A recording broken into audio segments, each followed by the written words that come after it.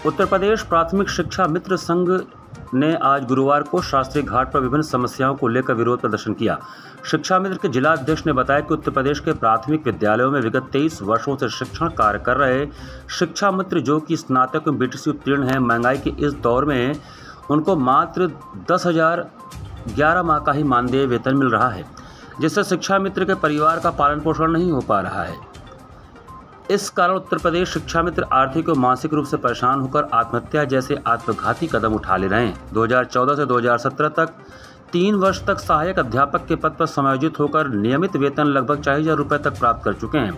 हम लोग के द्वारा कई बार सरकार को ज्ञापन के माध्यम से अवगत कराया गया है, लेकिन सरकार हमारी मांगों को नहीं सुन रही है। अगर आगे हमारी मांगें सरकार नहीं सुनेगी तो हम और भी विरोध प्रदर्शन करेंगे, जो कठिन तरीके से होगा। हम शिक्षा मित्र, माननीय मुख्यमंत्री जी से, अपने देश के प्रधानमंत्री जी और बनारस के हमारे सांसद माननीय मोदी जी से अनुरोध करते हैं कि हम प्राथमिक विद्यालयों में तेईस वर्षों से कार्य कर रहे हैं और प्राथमिक विद्यालयों को खोलने से लेकर के, साफ़ सफ़ाई से लेकर के, बच्चों की पढ़ाई से लेकर के, विद्यालय को बंद करने तक का काम हमारे शिक्षा में साथी करते हैं। तो हमसे, हम आप लोगों से अनुरोध करते हैं कि हमारा भी, हमारे भी दुख को समझते हुए हमको जो समान कार्य का समान वेतन दिया जाए। अगर जब तक कोई अड़चन आ रही है समान कार्य, समान वेतन देने में, तब तक हमको उचित मानदेय दिया जाए। महँगाई को देखते हुए उचित मानदेय दिया जाए, जिससे हम अपने परिवार का भरण पोषण कर सकें।